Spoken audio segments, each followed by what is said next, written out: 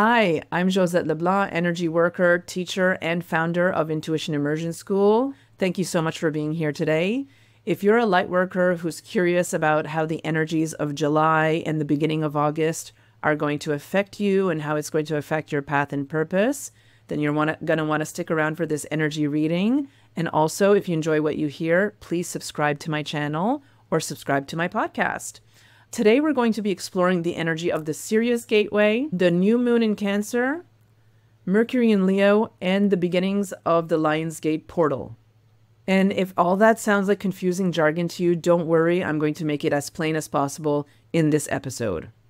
And also, just so you know, all the dates that I mentioned in this episode and all the resources I refer to are going to be linked in the description. So don't worry about that. If you want to take notes, you can take notes but everything that you need to keep all that important information is going to be in the description. So before we start, I want to give you a few questions to ponder as you listen to this energy reading. And also, these are questions that you can take with you into the month of July, going into August, because they are questions that are connected to the energy I'm going to be describing. So, the first question we're looking at is How can I use my voice in a direct, creative, and playful way.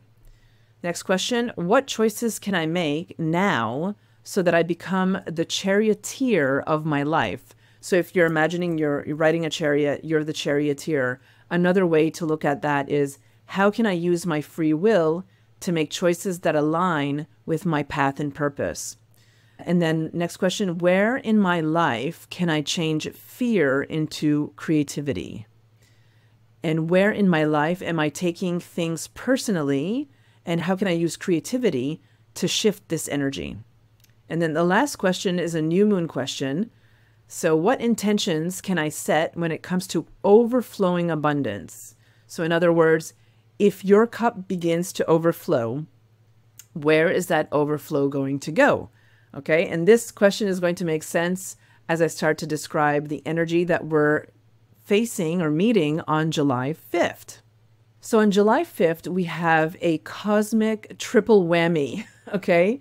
So the new moon in Cancer is going to be right in the middle of the Sirius gateway. So what's the Sirius gateway? This is when the sun and the fixed star Sirius create a conjunction or when they align. So on July 5th, at the same time, at that same moment, the moon is going to align with the sun, creating a new moon in Cancer.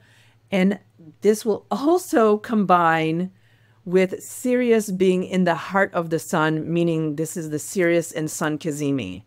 This is wild to me that they're all coming together. So, when a planet creates an exact conjunction with the sun, this is really an auspicious moment. You've heard me talk about Cazimi energy before. It's an auspicious moment to work with the energy of the planet because at that time, the energy of the planet becomes amplified because of the sun's rays. And this is an important time to declare and align with the energy that you want to manifest in your life. And if you're wondering what energy is that, the best way to look at that is to consider okay, in what sign is that? So we're here, we're working with Cancer. And then if you want to look at it personally, you find out where Cancer is in your natal chart and it will tell you what energy is being amplified right now. Okay. Now you can do that. It's very simple. I have a 10 minute video that I'm linking here that tells you how to access your natal chart and find what sign or what house that is in. Super easy, not complicated. Check it out. And then you'll know what kind of energy you want to work with or what part of life you are going to be working with during this time, especially during the new moon and the Sirius and Sun conjunction. So, to understand more about what energies at play in your life, we need to understand what does the star Sirius represent. So, astronomically, Sirius is the brightest star in the sky. This is why it's been historically called the sun behind the sun. It's so bright, right? It's it has that kind of brightness. And it and this is also why the star Sirius has so much meaning historically. Okay. And this is why this is a really powerful moment. July 5th is a really powerful moment. We got two suns essentially and the moon in Cancer. And I'm going to tell you more about the moon at this point, it's it's also very auspicious specifically.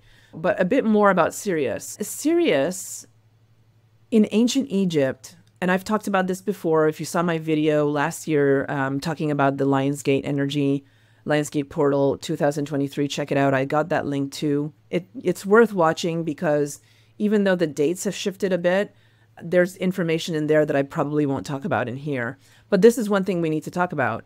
In ancient Egypt, the rising Sirius in the morning, so before the sun came up, if you saw Sirius, this represented abundance because this corresponded to the flooding of the Nile.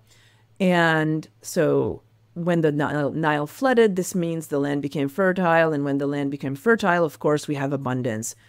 People started working more, the land started giving crops. And so it was a very abundant time. And because of this correlation, the star Sirius and the flooding of the Nile initiated the beginning of a new year.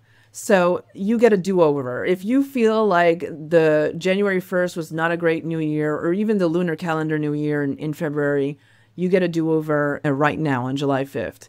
Actually, it's a little bit later, but we'll get into that later. And another important thing is that Sirius represents the celestial embodiment of Isis, the goddess Isis. So, as Sirius, Isis is Sopdet, I think I'm saying that correctly, that's in Egyptian, and Sothis in Greek. So if you ever see those words, know that it's representing Isis. When we saw Sopdet come up, this represented the transformation of the Nile and the transformation of the banks of the Nile. This is a symbol of resurrection, right? The land that was not fertile becomes fertile. This is a resurrection of sorts. But the most mythical story of resurrection connected to Isis is how she resurrected Osiris. Her beloved Osiris had been killed and dismembered by his jealous brother. And through her love and devotion, Isis brings Osiris back to life. And this love is represented every time we see Sirius rising in the morning before the sun. And we can see this specifically. Sirius is seen as lifting Orion from the night sky. Orion is Osiris, Isis is Sirius. And so Sirius seems to be elevating Orion, the resurrection. So this energy of Sirius really is about resurrecting our souls, remembering who we are. Soul resurrection, right? Remembering our soul's wisdom and truth. Sirius also represents abundance of resources. So, in whatever way this looks like for you, it could be wealth, health, wisdom. It also represents spiritual expansion and awakening. So, becoming aware of the expansiveness of your soul's purpose. It also represents inner growth. So, when you work with the new moon in Cancer on July 5th, you're also working with this energy. This is why I asked the question what intentions can I set when it comes to overflowing abundance? Or, in other words, if your cup begins to overflow, where will the overflow go? So, new moons are a beautiful time to set intentions. And in this case, it's even more auspicious to set intentions because the moon rules Cancer. This means that the moon is at home in Cancer. It also happens to be Cancer season, which means the sun is in Cancer. So there's a lot of Cancer energy happening. When the when a planet is at home in a sign, the way I see it is it means that the planet is vibing high, right? Similar to when you're at a party with your kind of people versus being at a party with people that don't have the share that don't share the same perspective. When you're at a party with your people, your energy gets is up and you are connected. So right now the moon and Cancer have the same interest. They're together. And the moon symbolizes intuition and emotions, and this is really what Cancer symbolizes as well. Cancer also symbolizes home and belonging. And to explore this energy, to give you a little bit more insight on this energy, I was really curious about what this meant because Sirius, the moon, and Cancer on July 5th will be at 14 degrees in Cancer.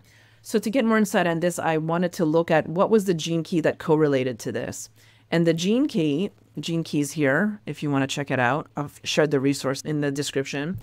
The gene key that correlates to 14 degrees in Cancer is gene key 39. I'm going to read some passages here.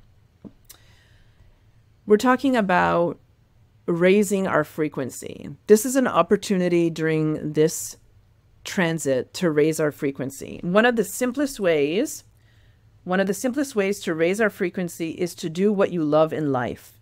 If you do what you truly love, you will unleash your creative dynamism, and the more creative you are, the more energy becomes available to you. This is the simple equation that is missed by so many people. This is also the idea of turning to creativity for shifting any negative energy that you're experiencing. Now, it's totally normal to experience negative energy, it's important.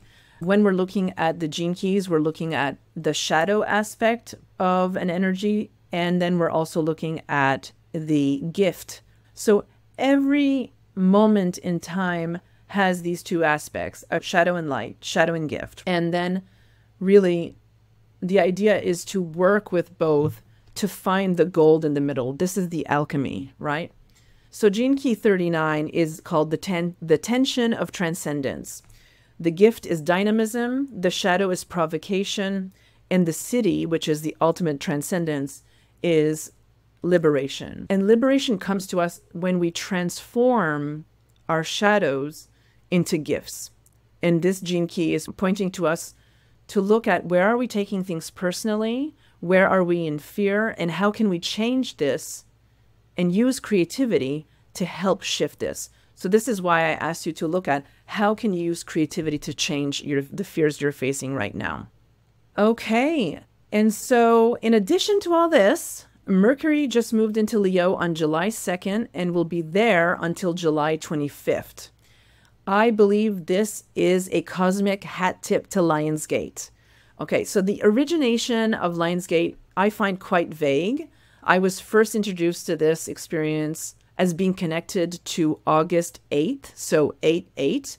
And I still see this as the day, Lionsgate Day, from a numerolo- numerological perspective. And this year, this is even going to be more magical because 2024 is an eight year. So we have three eights August 8, 2024, 888. And just so you know, eight numerologically corresponds to the concept of material wealth and material gain. So I'm going to be creating an episode specifically around the power of eight and Lionsgate. So stay tuned for that. I'm also leading my yearly Lionsgate Portal Energy Healing Container. We start on July 22nd for an opening call. It's on Mary Magdalene's feast day. This is also the day that the sun goes into Leo. And if you understand the connection between Mary Magdalene and Isis, then you know why I chose this date.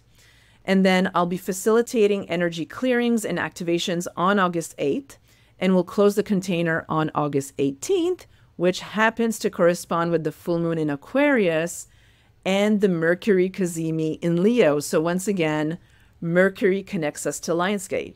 So based on my research, what we call Lionsgate is really Sirius's heliacal rising. So again, the experience, the Isis experience when Sirius is visible in the morning before sunrise. And the reason I see Mercury in Leo as a nod to Lionsgate or to Sirius rising is because one thing we know for sure is that all this energy is happening during Leo season. So perhaps this is where Lionsgate gets its name because it's in Leo and in the sign of lion, and Leo is the sign of the lion. So that's it. That's why I that's the connection Mercury and Leo. Mercury with Mercury in Leo, you get to use your voice in a passionate and creative way. So once again, we have this link to creativity. So you're really going to be exploring your creativity at this time. And so Mercury is the planet of communication and the mind. Leo is a fire sign which values self-expression, pizzazz, and being the center of attention. So this is the energy that is going to be spicing up your voice so this is it. When Mercury and Leo, expect to speak directly about things, you're going to get to the point faster. You might shock yourself if you're not used to that. But understand this is a really good time to just clear the air, clear things up. And it might be especially what you need, especially if you've been noticing that you're communication has been more emotional or flowy as a result of Mercury being in Cancer just for the last few weeks. So that's it. Um, I'll be sharing more information about Lionsgate and the Power of Eight in my next video. If you enjoyed what you heard today, please leave me a comment and subscribe. See you.